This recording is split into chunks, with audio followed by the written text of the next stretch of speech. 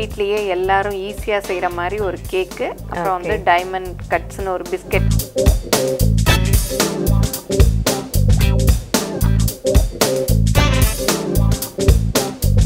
Taste ரொம்ப பிரமாதமாக இருக்கும். ருசிக்கலாம் வாங்க. நாளை மதியம் ஒரு மணிக்கு நமது புது யுகத்தில்